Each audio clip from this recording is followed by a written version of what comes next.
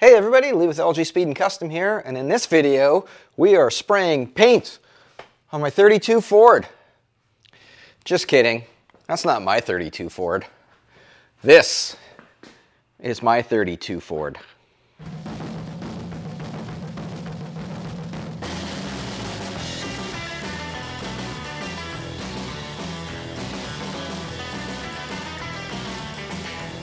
When we left off in the last video on the 32, I was body working where the frame splices happened. This, this part of the frame and this part of the frame are from two different cars. So we had a splice here as well as the frame horns were originally bobbed on this chassis and we welded new ones on. So we did a little bit of body work where that splice happened and just a couple little spots that needed some touch-ups. I finished off doing the body work without you guys. I hope you're okay with that. If not, please let me know and in the future I will do all the body work videos. But uh, it was basically, I just kept doing the same thing that I did on the last video, only I flipped the chassis upside down and did the underneath. So we are ready to spray. Before we spray any paint, we are going to spray some polyester surfacer. So I was always kind of referring this to, or referring to this as slick sand. Slick sand is just a brand name, but uh, polyester surfacer is a really heavy, high build primer. It's almost like basically spray on body filler. And uh, the reason I was calling it slick sand is because I thought I had slick sand, but I don't. It's a uh, USC Eliminator high build polyester primer surfacer. I had, uh, I used to have a 63 Vespa and I traded, it was a project Vespa, basically just a shell with random parts and boxes. And I traded it to one of the guys at the auto body supply shop for a whole bunch of poly uh, primer, polyester surfacer, body filler. Everything was all supposed to go on brown sugar, my 72 Ford Crew Cab, but uh, we haven't got that far yet. So we're gonna use it on this instead. And basically the concept of the spray on body filler is to just fill in, there's a couple like rust pits in here, rust pitting, uh, sand scratches in our body filler. This is finished to 80 grit. So it'll fill in the 80 grit scratches. And from there we can block sand it and have a nice smooth finish to put our regular primer, and our epoxy primer and paint over. So I think we're going to roll this outside, blow the ever-living snot out of it, give it a wipe down, and spray it. Let's do it.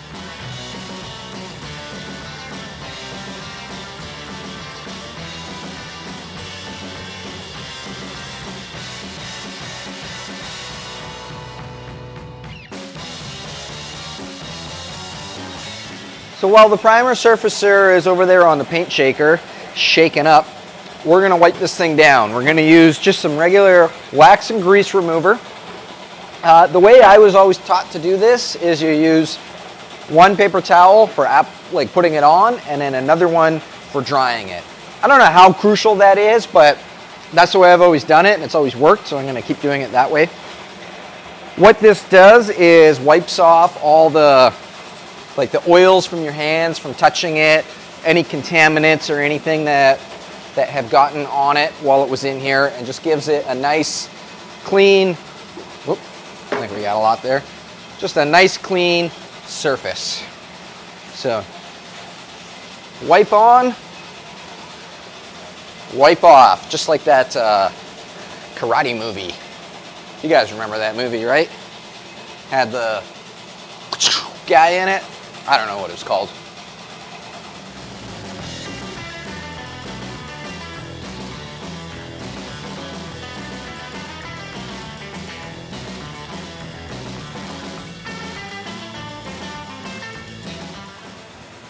So you see these like grinder marks down in here and these little rust pits in here. That's what we are trying to fill. That's what our objective is, is to fill all that stuff and then we can block sand it out and it's nice and smooth. Those areas and that area you're not really gonna see when the car is all together. The fender goes right there. but this whole area in here is completely visible on a 32 Ford. The body bolts down here, and the running board bolts up here, and this is the filler piece in between. So definitely visible. This is the part we want to make really nice. Much like Elvis, this stuff is all shook up. So we're going to mix it up now. The ratio for this is for one quart of primer surfacer, you need half an ounce of hardener. How do I know that? It says right there on the can. Always read your cans. So this is one quart. We're gonna mix up one quart. It'll probably use all of it. So we'll go up to one on there. Add, this is two ounces and we only need half an ounce. So we'll use, uh, you know, about a quarter of that. If you're a little bit over, a little bit under, it'll, it'll be fine. And then uh, we'll spray it on the car. The pour. It's dribbling down my fingers. I don't know why they don't make paint cans that are easy to pour out of. Well, I guess you can buy the things that go on the top, but I don't have one of those. I don't do enough paint and body work to buy all the specialized tools. Okay, add some hardener. So, oh, look at that, it's labeled on the side. I think we just need to go down to the next, the next little mark on there. We started at half, now we're at one, so I guess that means half. It's weird, you think they'd put that the other way so that the two was at the top, but uh, I don't have a stir stick, but I've got this piece of metal. It'll work fine. So I'm going to stir this up nice and thorough. Stirring thorough is important. When you think you've stirred enough, stir a little bit more. You want the stuff nice and mixed so that you get dry, even dry coverage. Put that over top. That should be okay. Let's go put it in our paint can. Paint gun, paint gun. So this paint gun that we're using, this is a SATA, and it's a special gun that has two purposes, polyester surfacer or metal flake. You can spray metal flake with this gun, as you can see by the little bit of metal flake on the top. And really the only difference is this tip right here. This is a 2.4 millimeter tip. When you pull that trigger back, look at that thing. That's like a fire hose. So you need the big tip like that for spraying the surfacer because it is so thick or if you're using it for metal flake because metal flake is actual little chunks of metal that you spray out. So let's dump this in. And then we'll go to the paint booth, which is outside. I got my neighbor Lewis to move his car, so it's out of the overspray zone. That doesn't go there, that goes there. And we'll go spray. Psh, psh.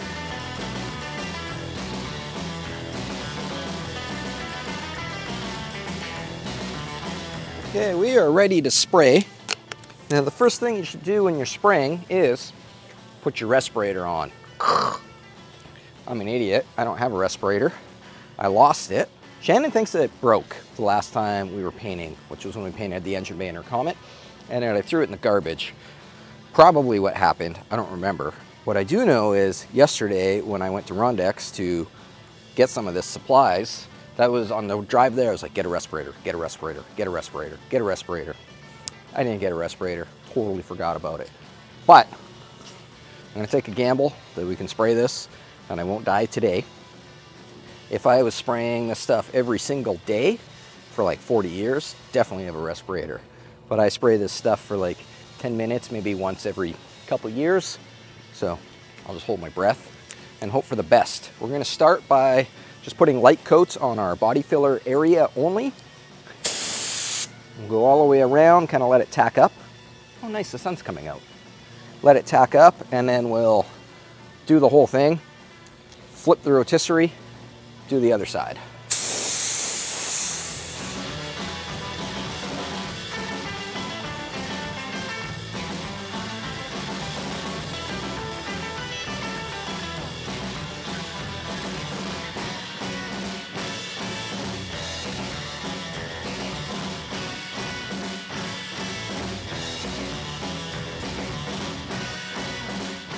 Gonna have to go mix up some more. We've got one thorough coat on all the bare metal and two coats on all the body filled areas.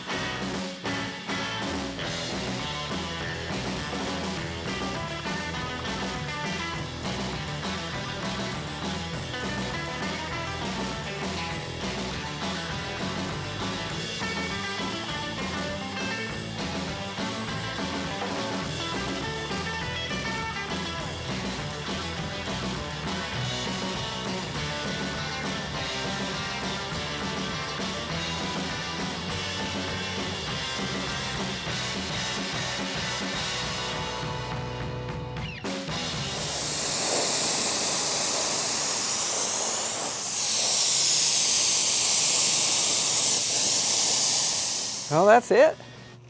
Now we just have to let it dry.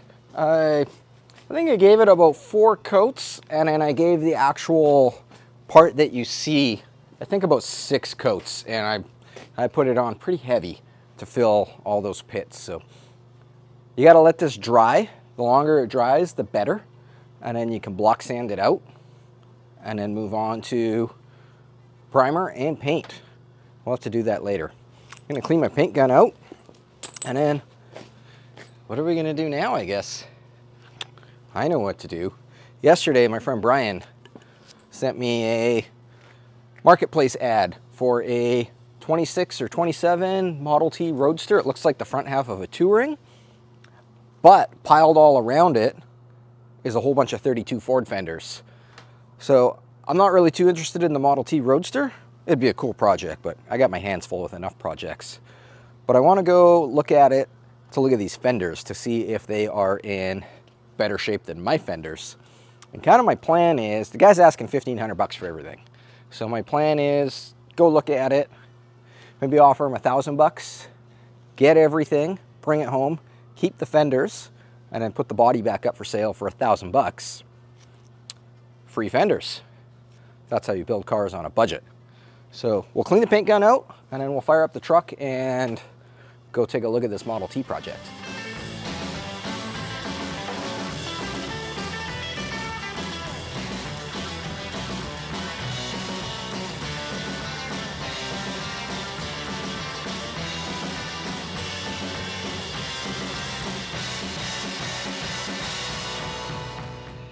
This guy's in Langford, which is about a 15 minute drive from here.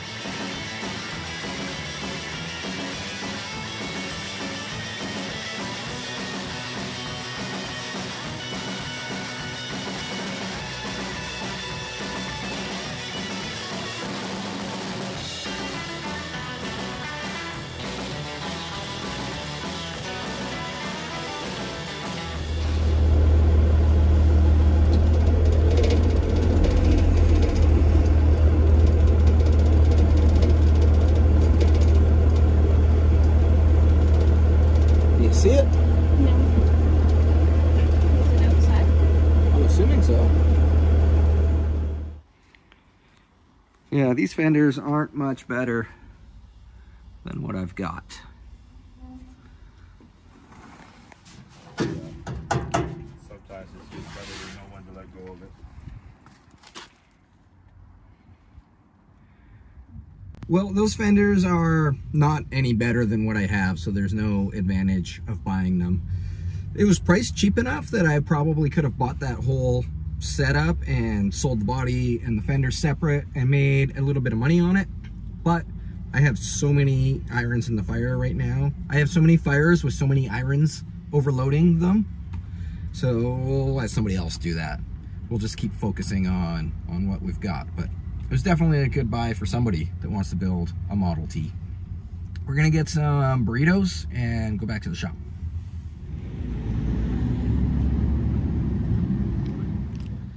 We're back at the shop now, all full of burrito. This is still a little too fresh to sand, so I think we'll just let it sit for, you know, a few days. And then we'll sand it and continue on with this video. In the meantime, we're just gonna spend the rest of the day messing around on Shannon's Comet. So we'll see you in a few days.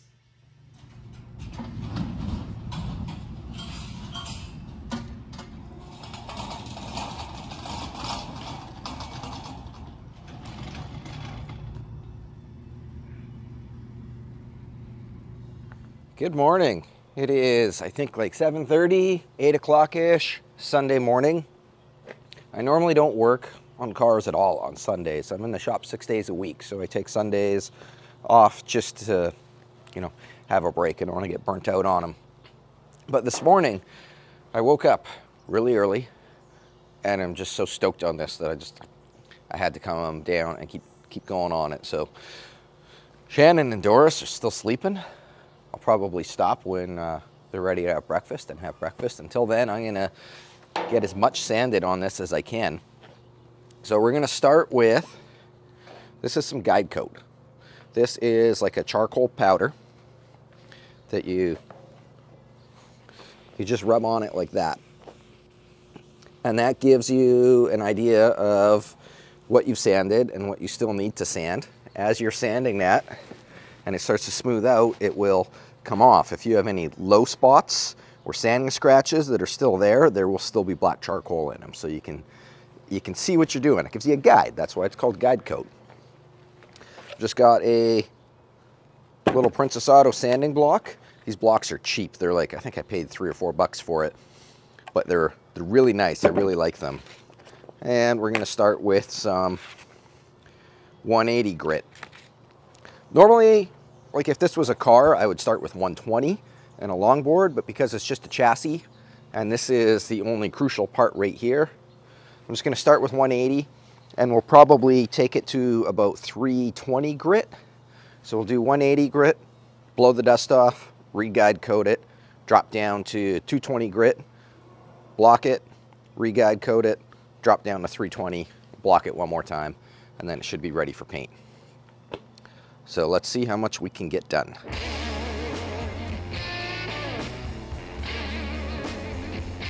So here you can really see the guide coat at work. I've just sanded a little bit here with the block. And as you can see, we still have some dark spots there. That means that that area is not sanded enough. You just want to sand it until all those little black dots disappear or until you hit bare metal, whichever comes first. It's kind of same concept as when we were putting body filler on. When you hit bare metal, that's, you know, don't go any further than that because the bare metal is not going to sand anymore, but all the product around it is going to continue to sand as you're blocking. And you're going to create, the metal's already the, the high spot, and you're just going to create a big low spot all the way around it. So when you hit bare metal, stop.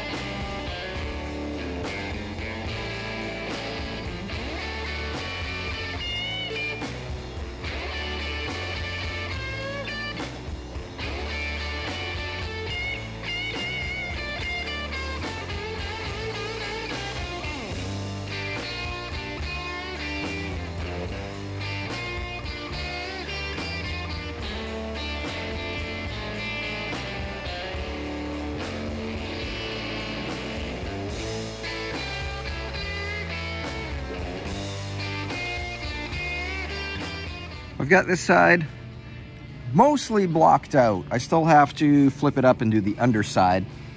But everything has come out really nice, except for this spot right here, which I was a little bit concerned about. There was some really heavy pitting there.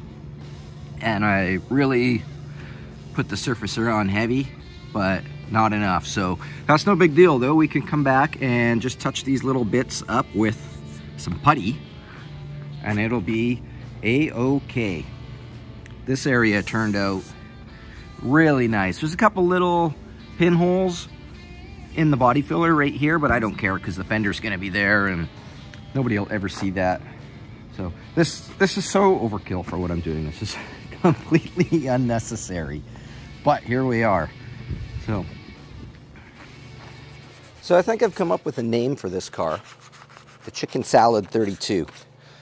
Because this whole project is being taking chicken shit and turning it into chicken salad. So I think I'm gonna take a break for the rest of the day. My sun has disappeared and is turning into rain clouds and it is breakfast time. I'm hungry. So blow this off and go make some breakfast. So it is Wednesday evening right now. I'm sanding away on this thing and Shannon has just got home from work. And she has a package for her.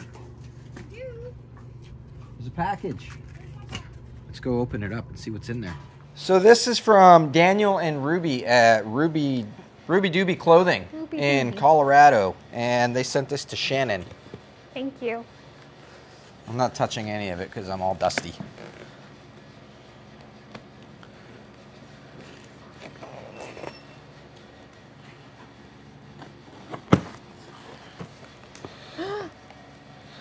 Cool.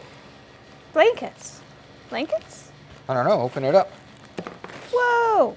Whoa! Whoa! Okay, you guys see this. That is.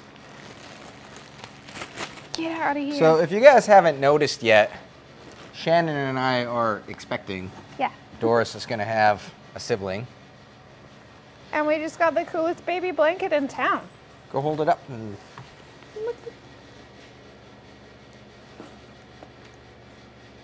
Wow, that is so cool. So cool. I don't even know what to say. What's this No, thing? I don't know. I don't Open know. that up.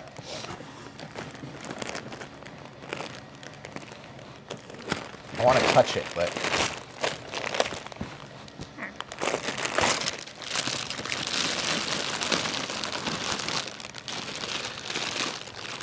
I think it's a crib bumper. a crib bumper? I don't know what that is. It goes around the crib so the baby doesn't smash their little head. Wow. Hold.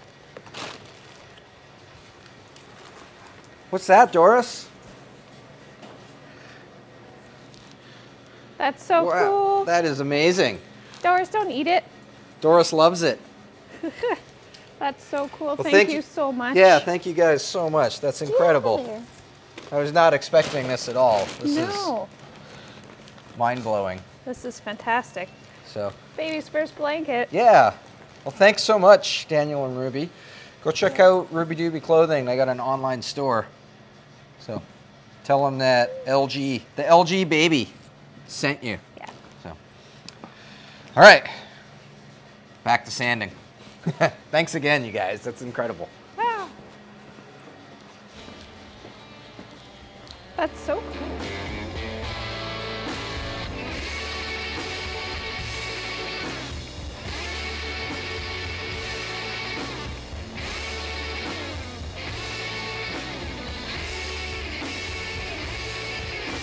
We've got this other side blocked out, and it's got some pretty bad pitting as well that did not come out. Plus, we've got a little bit of a low spot right here. And the reason I know this is a low spot is because we can still see a little bit of the guide coat and the, the texture, or the orange peel as they call it, from spraying. And we broke through to bare metal just about all the way around it. So we know we can't continue sanding this out. So what we're gonna do now is mix up a little bit of putty. Putty is basically the same concept as the body filler that we were using earlier. It's just a little bit thinner. It's a little lighter duty. It sands a little easier. It doesn't build as heavy and it's perfect for filling this kind of stuff right here. Otherwise, everything else seems okay on this side. Our, where we spliced up here came out really nice. Where we spliced back here came out really nice. The top, I mean, obviously we've got some good pitting in the top, but I'm not gonna worry about that because the body's gonna get bolted down to there. So what you guys are seeing right now, that's the last time anybody will ever see this.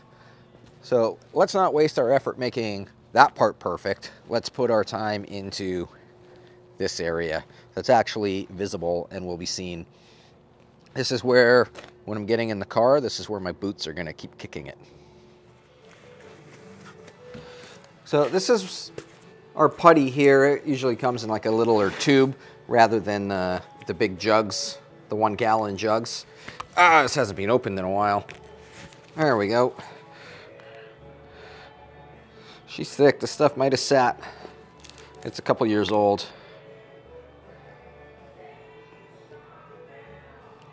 That's probably pretty good.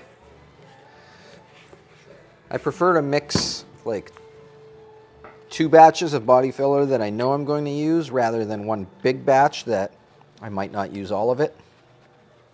It mixes up exactly the same as body filler. Just like so. We'll get this all mixed up and then it you apply it on the car exactly the same.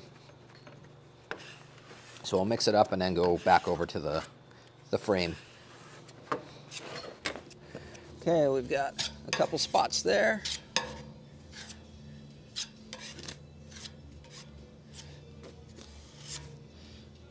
A little bit there. Probably just blend this right in like so. And I think that was it on this side. Oh, a little bit right there. Couple pinholes. And now that we're getting in there, can find all these spots.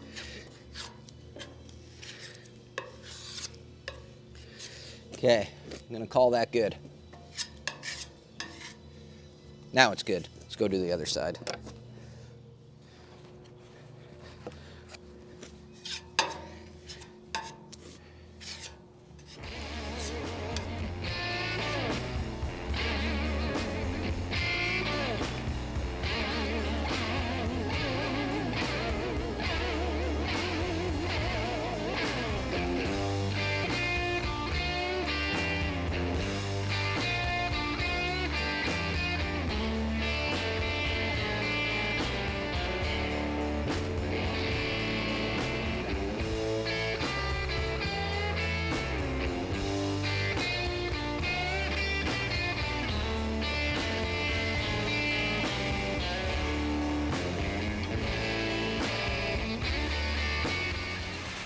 But it's Sunday morning and we're finally ready to spray this. I saved you guys the, the boring details of dropping from 220 to 320 to 400 and everything because it was the exact same thing I was doing just in a different grit of sandpaper. So from the start of this video to today, it's been nine days so far. This stuff takes a long time. Uh, that noise in the background is the primer sealer mixing up on the paint shaker. We're going to spray this in sealer and what that does is seals everything in that's already there and also gives it a nice even coat so that when the paint goes on all the like everything underneath is one solid even color and that just helps it lay out a little more evenly. Uh, we've got the front suspension. I just sanded it really quick. Not getting super carried away with that. We're just gonna hang that off the forklift and the rear suspension, same thing. I didn't get super carried away. Just buzzed it down with the DA. So we will seal and paint that black as well. Uh, the front end, like I just said, I'm gonna hang off the forklift. The rear suspension, I'm not quite sure what my plan is with that yet, but we'll figure that out. So we're gonna roll everything outside, give it one final blow, dust all the, the blow off, blow all the dust off. You know what I'm trying to say. Give it a wipe down with some wax and grease remover and start spraying our sealer.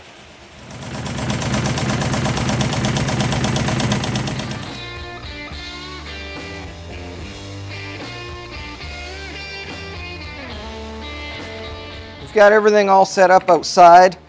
I've wet the, the ground down to try to keep the dust to a minimum. Most of the dust is my own dust, so it's kind of kind of my own fault. Somebody told me one time doing paint and body is half the time you're just creating dust and the other half of the time you're trying to eliminate the dust, which is very true. Got a respirator, finally. They were actually, uh, they had Oops. Uh-oh. Uh-oh. They had respirators in stock, but the the filters, which I just broke off, they did not have in stock. But I had filters from my last respirator. Uh, you know what? We should probably test fit this before we mix all our paint up. Actually, we not might not be too bad.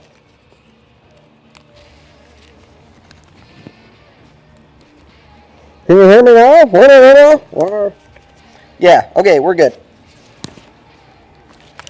It's nothing more stressful than mixing up paint and then you get out to, to go spray and find out that you forgot something or missed something. And so this is Nason full epoxy epoxy primer sealer. This stuff mixes two to one, meaning two parts primer to one part activator. It doesn't use any reducer. Some primers do. Every paint is different, so always read the directions. So many people experiment with their own, oh, I'll put a little bit of this and a little bit of that, which I don't know. I mean, that works to an extent, but at the same time, there's like, like these paint companies paid chemical engineers millions of dollars to figure this out. So who am I to question it? So two to one ratio. If you use an actual mixing cup, it will have right on it. There we have two to one, meaning if you wanted, say you filled this up to the seven under the two line, then you move over to the one line and fill it up to the seven and that gives you two to one. If you were to do just regular math, you know, you'd fill it up to the four and then add six and that gives you one part, two parts to one part. Does that make sense? Uh, just follow the thing. It's easy. Uh, how much are we going to need? Probably quite a bit. We don't have a lot of this left. We'll probably actually end up using all of it. So I'm going to use the one-to-one -one ratio and just go to the four and then the six because that way we get the maximum usage out of this container. Oh, I guess I should actually watch the lines here. Okay, there's four parts primer in there. Two.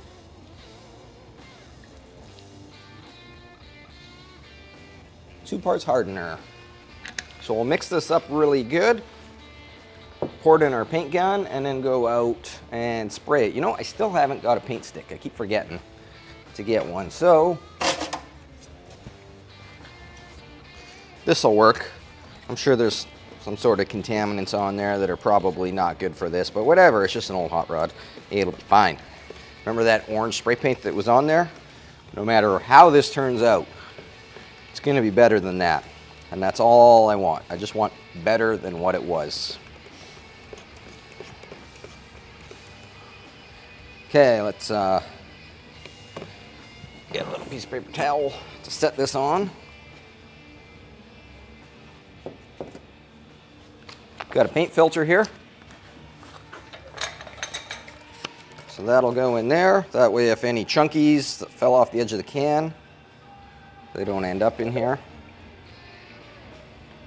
Pouring it in here like this also, well, you know what? We just filled right up. We probably could have done right to the, like the actual two to one side because we can't fit a whole thing in here anyways. All right, let's, let's go spray this.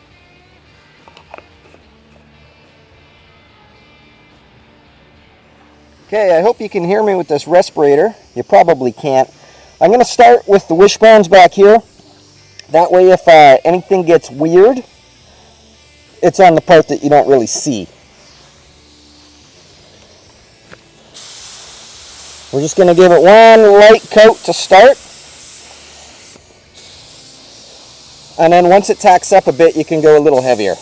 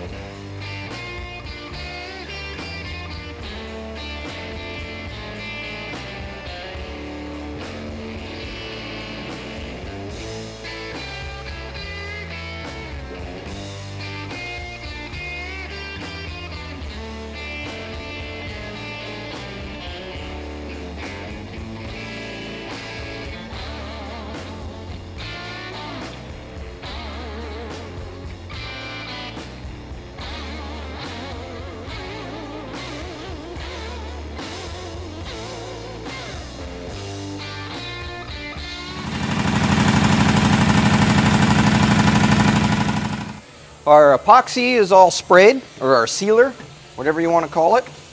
Now we can move on to the paint. I just took this off the paint shaker. It's been on there for quite a while, rattling around. So this is Imron paint. It's a industrial paint, very highly recommended by Jim at Rondex where I get my paint and body stuff done. Jim and Buck, great people. So my, my Roadster chassis I painted with this industrial paint called Endura. I painted it 13 years ago and it still looks amazing to this day. Uh, Jim says this is just as good as Endura.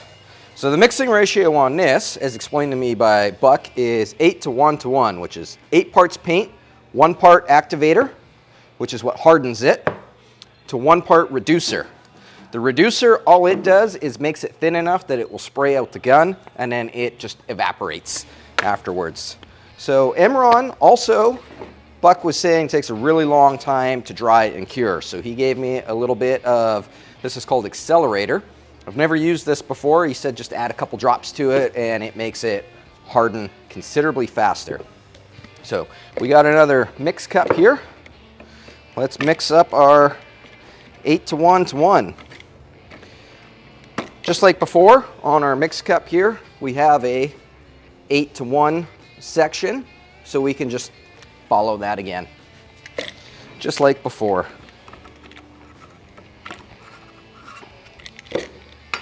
Oh yeah, look at that. It's not gonna dry that color. It's gonna be, this is semi-gloss black. All right, here comes the pour. So there's our eight parts. We're probably, just like the uh, sealer, gonna have to mix up a couple. I ended up filling my gun four times to do everything that we had there. I used all, everything that was left in that jug. Okay, so, oh man, this stuff's thick. Thick with two C's. Okay, activator is done. Reducer, I'm gonna finish off this can before we open up that can.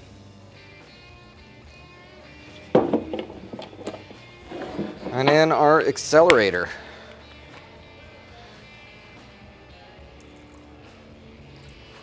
Sure, that seems like enough. Okay, need to find a new stir stick.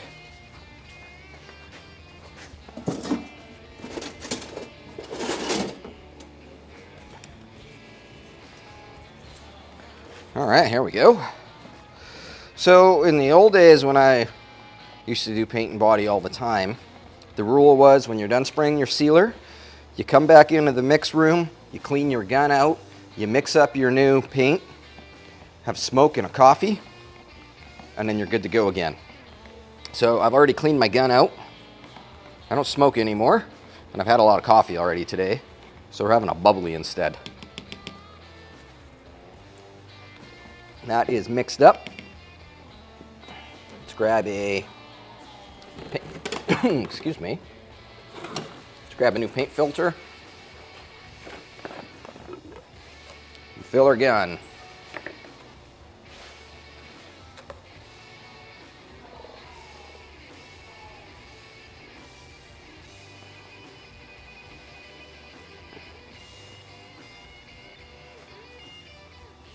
Perfect.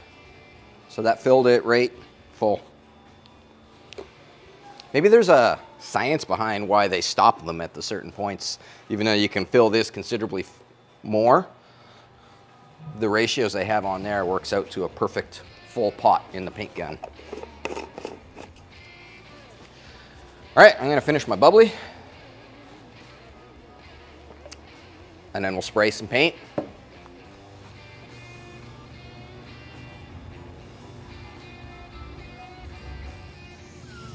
So just like before, I'm just gonna give the first coat kind of a little dusting just to kind of let it tack up a little bit. And then you can go heavy on the second coat.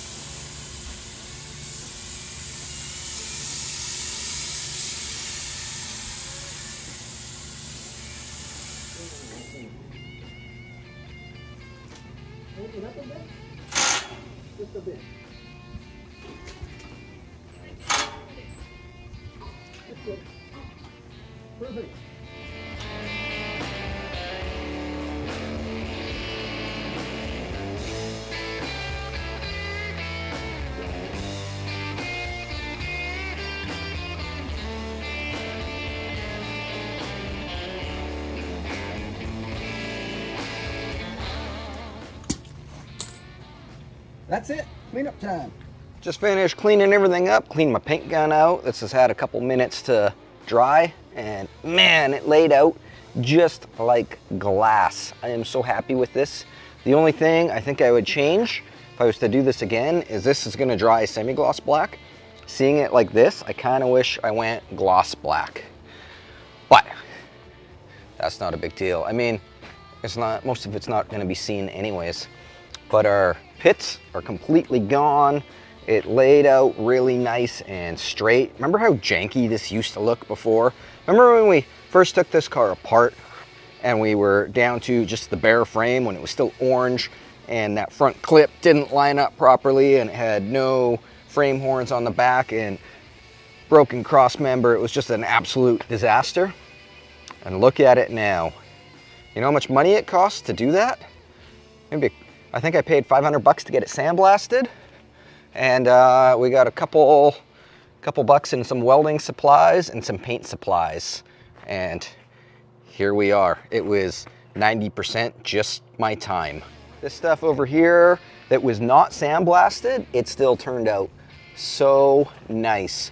There's still a little bit of pitting in the axle. That was to be expected because we didn't spray any like polyester surfacer or anything, but it doesn't matter because when it's in the car, you won't see it at all. These wishbones turned out beautiful. Rear suspension, same thing. It turned out great. I am so happy with this. Just tickled. Tickled pink, tickled black. Man, I, I can't stop staring at this thing. It turned out so great. I think we're gonna call this video here. In the next video, we are going to put the front axle back under, put the rear suspension back under, put the engine back in, and get this thing on wheels again. I hope you guys learned something watching this video, even if it was just a little bit. That's awesome. That's my whole point with this is just to show everybody, you know, how to build a hot rod, how you can build a hot rod at home. If you want to support this channel and say thanks, please check out lgspeedkustom.com where we got lots of LG Speed and Kustom shirts and stickers as well as hot rod parts. These motor mounts that are in here, those are available on the website. The shock tabs, actually we don't have any of my LG shock tabs on this car yet, but there will be one day, but they're on the website as well. So yeah, go check that out. Uh, thanks to the Cavaleros, local Victoria surf band, for the music in this video. And thanks to Jim and Buck at Rondex. Jim mixed up the paint.